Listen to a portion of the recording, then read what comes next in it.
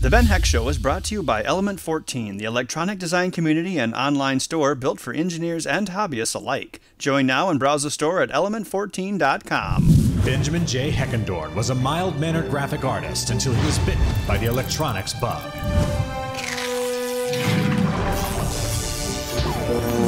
Now, every week he takes on new projects, shares tips and tricks, and answers your viewer questions on The Ben Heck Show. Hello and welcome back to the Ben Heck Show.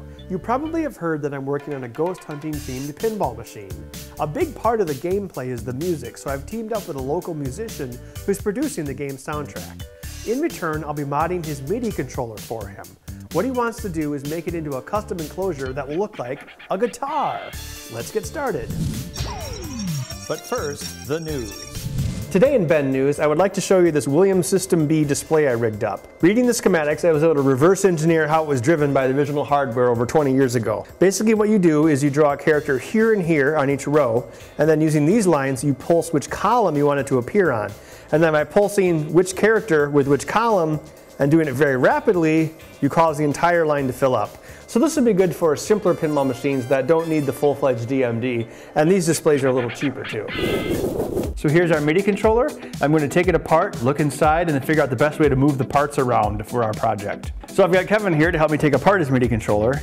That way I can blame him if something goes wrong. Snakes.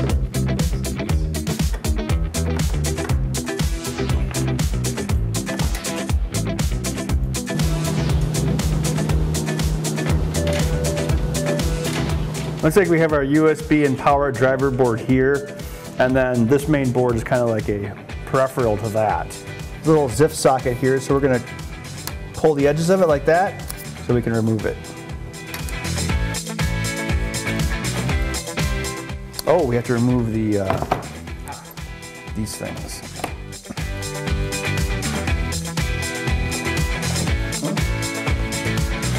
What I'm gonna do is I'm gonna scan this plate with a scanner because that's redundant. Then I can reproduce the holes and cut them in a new piece of material.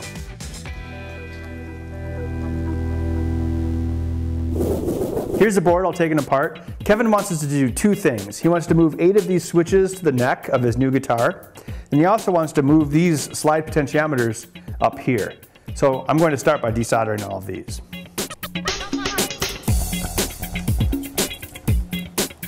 Now I have to see which connections are discrete and which ones are unique to each slider. So I only have to rewire the bare minimum, so it doesn't take forever. It's connected. These don't appear to be connected to anything. These are the same. Now that I've removed all the slide switches, I'm going to mount them to this new circuit board so I can put it down here. So I'm putting the uh, potentiometers onto this PCB, and the PCB wasn't quite big enough, so I've had to extend it but I think it'll work out.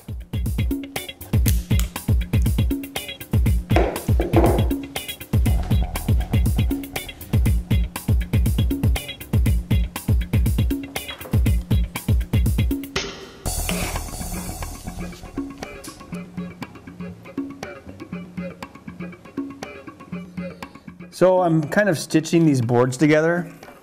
Um, just putting uh, leads through some of these unused connections and the boards will become one.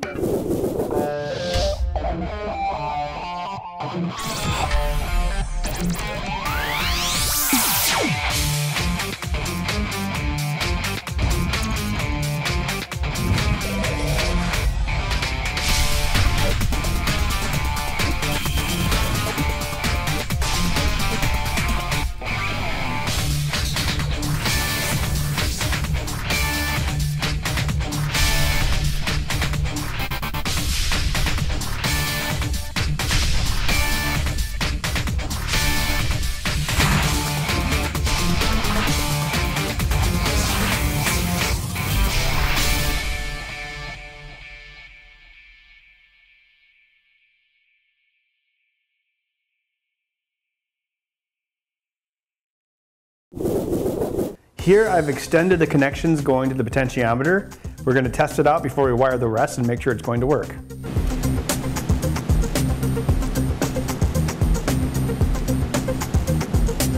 All right, we have all these sliders hooked up and extended to this side of the board, so we're gonna make sure they work before we move on. Kevin, wanna take the controls? You can see that they're all working, including the master slider. Now that we've moved the sliders to this side of the unit, we're going to extend these buttons out so they can be on the neck of the guitar thing we're building. Here you see the potentiometers in their new position. They were down here, and now they're over here with their own little board. I've also added some ribbon cable here so we can extend these eight buttons out to the neck of the guitar. Now we're going to scan this into the computer so all the components fit. I'm doing it one piece at a time. I started by making a paper pattern of the main button matrix. I can line the paper pattern up to make sure it fits. Looks like it fits pretty good. It's a little off, but it won't be a big deal. And we'll just double, triple check using the buttons themselves. Beep, boop, boop, beep, boop, boop. What we'll do when we actually make the final material that we cut this out of, we'll actually increase the, the uh, opening here a little bit just to give it a margin of error. So now I've got to map in the rest of this and see if that fits.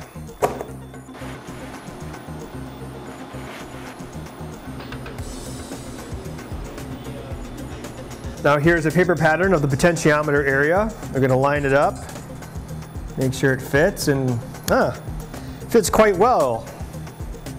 That's why it's good to take careful measurements. Okay, so I've got the paper pattern made so it matches up the buttons, and the paper pattern is also the exact size of the circuit boards. So we can use this to design the actual enclosure for the MIDI guitar now. And this is what's going to be inside it, along with the crossfader thing.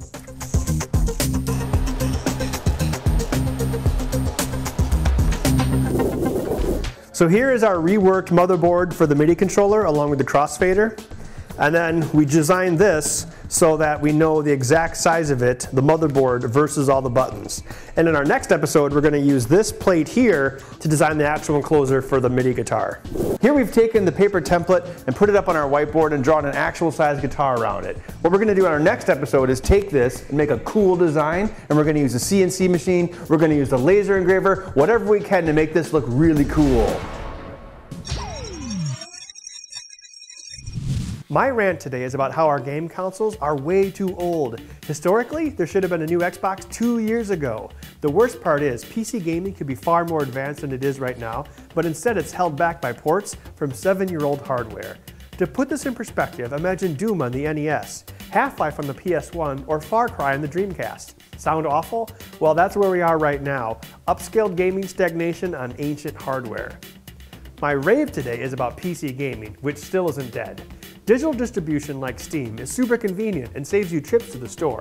The online multiplayer is free, and the games are usually cheaper since they don't have the console license fee attached. You can mod them however you please, and since everything is a console port anyway, a reasonably priced video card runs most stuff just fine.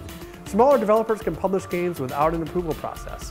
Finally, some games, like Battlefield 3, are more advanced than their console brethren and do indeed give us a taste of the next generation. Today's viewer question comes from Adam Herring, who asks, we often see you using various drawing and design programs. Can you give us a rundown on the programs you use and how we can learn the skills to use them ourselves? I do most of my 2D design in Adobe Illustrator as a residual side effect from being a graphic artist back in the day. For 3D printed designs, I use Autodesk 123D, a free program similar to Inventor. Autodesk and Adobe have extensive online videos that cover all of their products, as do most companies. The tutorials are out there for you to find. That's all the time we have for today. Now that we have the electronics figured out for the MIDI controller mod, next episode we can design and build the custom case. We'll see you then. Stay tuned at element14.com forward slash TBHS, where you can join the discussion, suggest builds for the show, and even have a chance to win upcoming builds. Remember, you can always email build ideas to benheck at element14.com. Thanks for watching.